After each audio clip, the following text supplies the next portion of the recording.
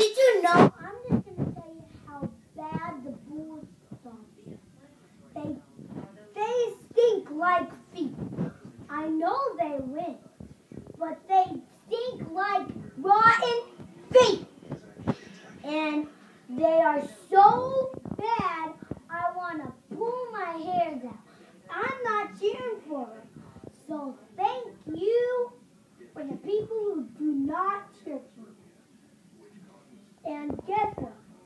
Never, ever, ever cheer for the Bulldogs. Go